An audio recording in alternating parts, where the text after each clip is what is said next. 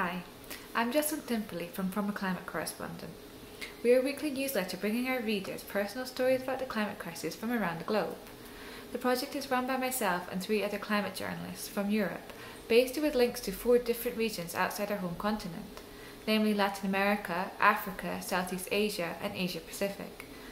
As our project has grown, we're increasingly focusing on commissioning other environmental journalists, and we are especially keen to highlight more local voices from the regions we cover, telling their own stories about the climate crisis.